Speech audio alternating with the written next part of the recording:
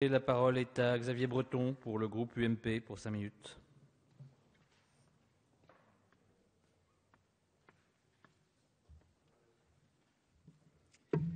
Monsieur le Président, Monsieur le Ministre, Monsieur le Président de Commission, mes chers collègues, dans le cadre de ce débat sur l'avenir des projets d'infrastructure de transport, j'ai bien noté, Monsieur le Ministre, votre démarche en vue de l'élaboration d'un nouveau schéma national de mobilité durable. J'ai bien compris qu'il est aujourd'hui indispensable d'attendre les conclusions de la commission Mobilité 21 qui devraient être présentées avant la fin de ce premier semestre de l'année 2013 euh, conclusions qui devraient permettre de mieux évaluer le sort qui sera réservé à tel ou tel projet.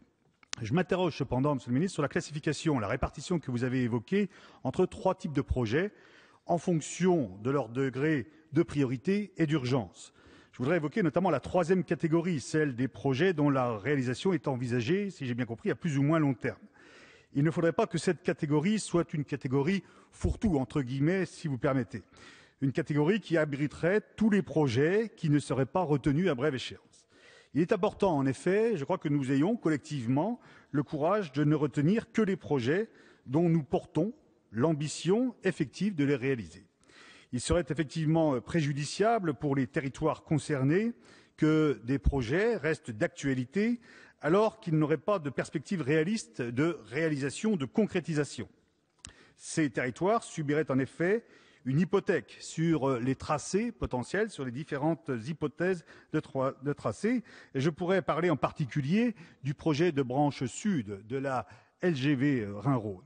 Il importe pour les territoires concernés d'être fixés, car aujourd'hui, ce sont toutes les possibilités d'aménagement et de développement au niveau des communes et des intercommunalités qui sont freinées par rapport euh, en raison de l'incertitude qui pèse sur de tels projets.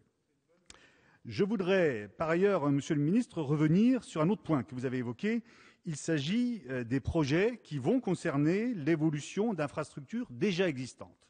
Je ne remets pas en cause, bien au contraire, l'intérêt d'optimiser les infrastructures existantes, mais je voudrais vous alerter sur les conséquences environnementales et euh, sociales qui peuvent être générées par la nouvelle utilisation d'infrastructures.